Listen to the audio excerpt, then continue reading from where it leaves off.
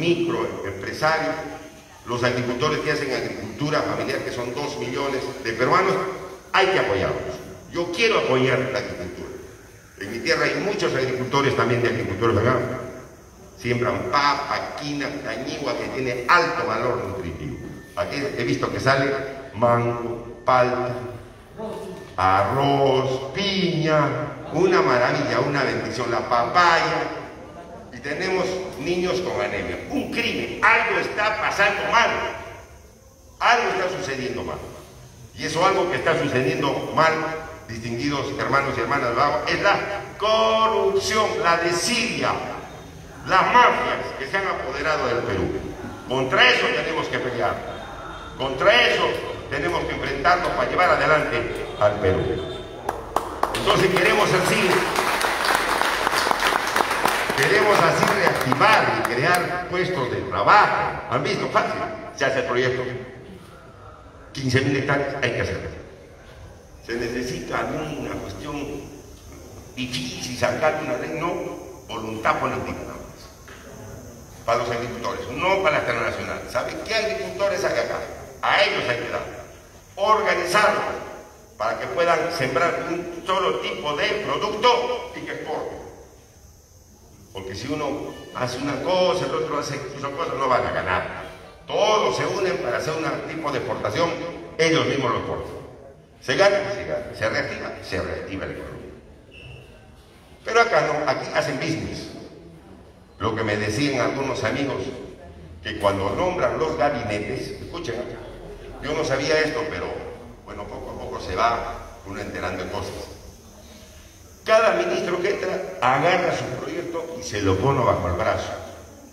Dice, voy a hacer este proyecto que seguramente le va a dar una cantidad de código. Este proyecto me lo digo, yo le voy a hacer este proyecto, lo que aquí lo entrega, ¿quién me ofrece más? Y saca la cuenta. No, sé. Eso se terminó. Eso se terminó.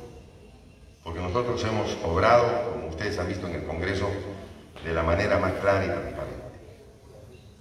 Nada de negocios. Y aquel que hace negocios se va, pero también se le procesa penalmente y tampoco vuelve a regresar nunca más al gobierno.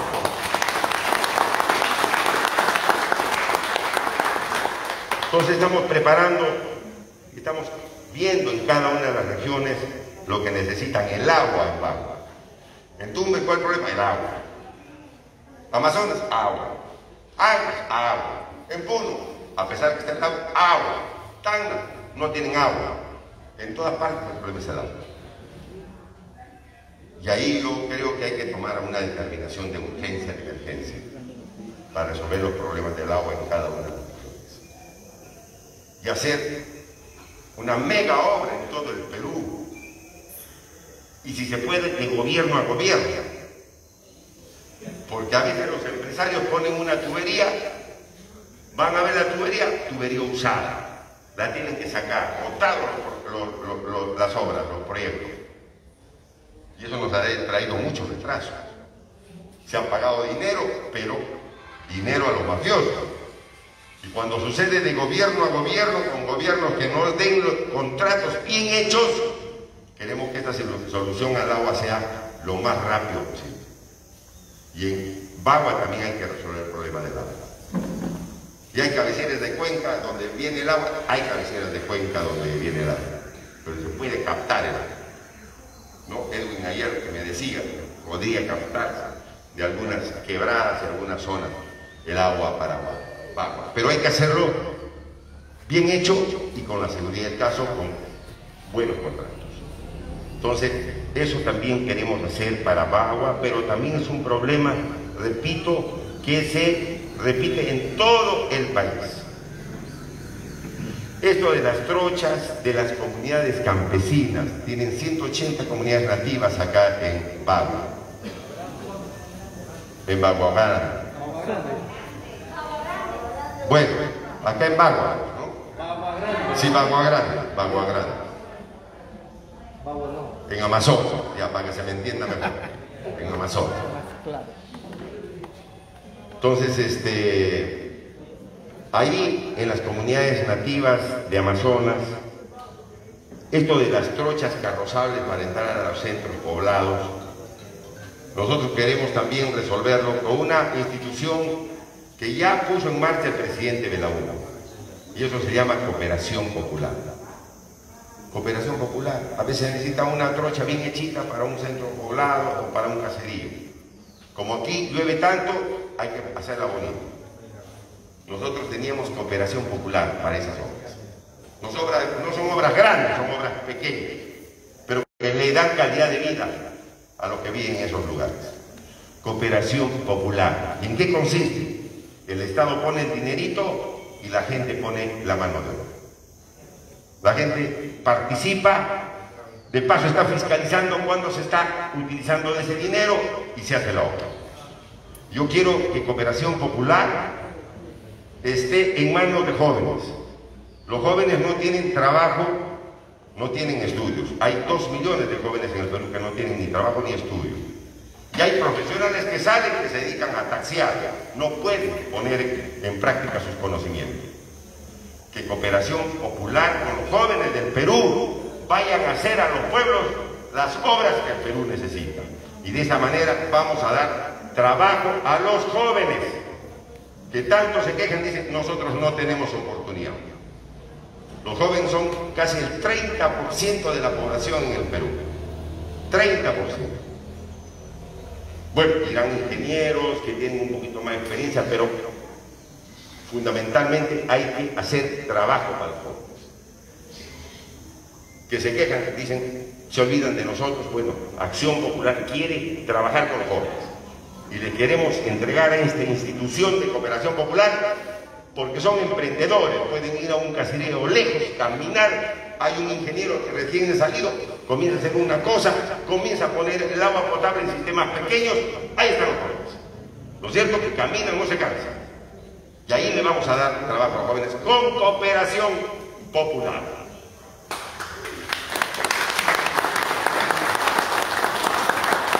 Y también para los jóvenes el servicio militar voluntario, que sirven a la patria que salen como licenciados, han servido a la patria. Pero además el joven puede ir a conseguir un título técnico en agricultura, en madera, carpintería, manejo de máquinas, electrónica, en fin, en una serie de carreras técnicas. Y sale no solamente habiendo servido a su padre, sino con su cartoncito bien formado para que se gane la vida después. Porque esos jóvenes, cuando no hacen eso, dos millones de jóvenes que en Perú en esas condiciones, son captados por el delito. Bueno, nosotros queremos salvar la vida de esos jóvenes con el servicio militar voluntario. Y van a ver la cantidad de jóvenes que van a entrar a servir a su patria porque van a salir también con, con un conocimiento para ganarse la vida. Y de esa manera estamos atendiendo la falta de técnicos en el Perú, pero también salvando a los jóvenes del Perú. Los jóvenes deben tener una buena oportunidad y no la tienen, no la tienen en estos momentos. Entonces, el ejército, las Fuerzas Armadas nos van a ayudar, nos tienen que ayudar a hacer eso.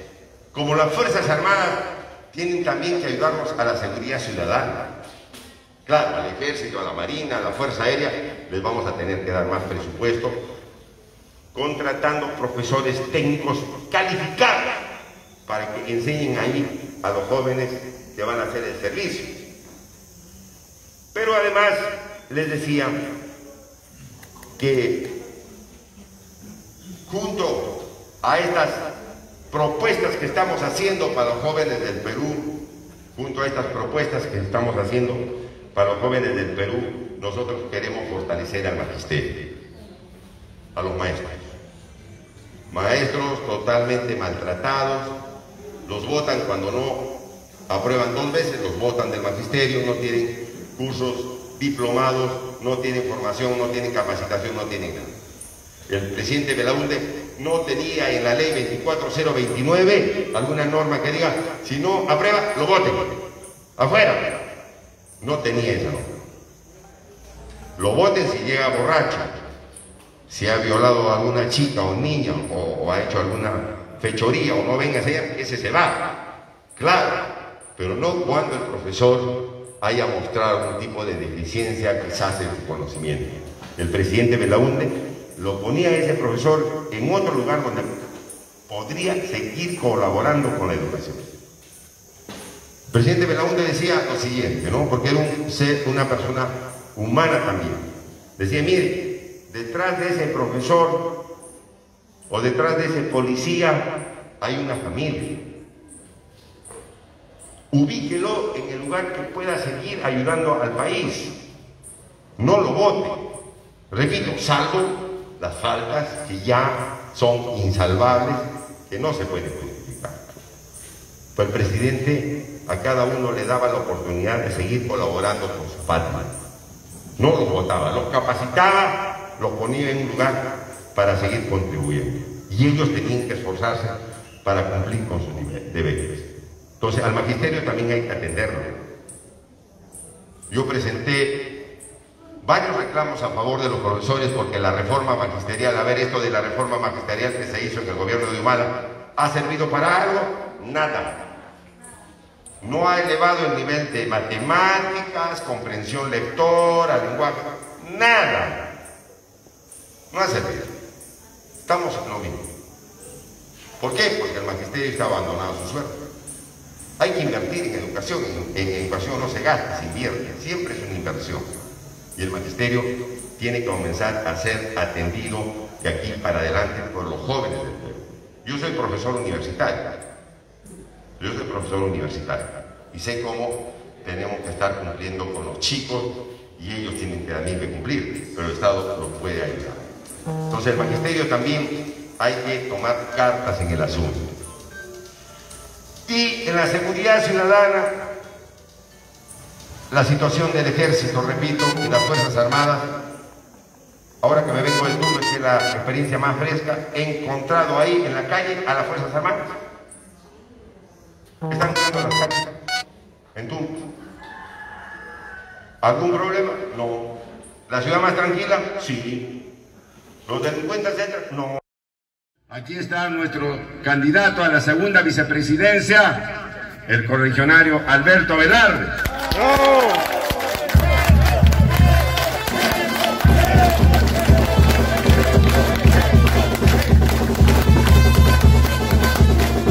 Trabajó con el presidente Belaunde y fue mano derecha del presidente Paniagua y por eso se ha unido a la fórmula presidencial para reconstruir el Perú.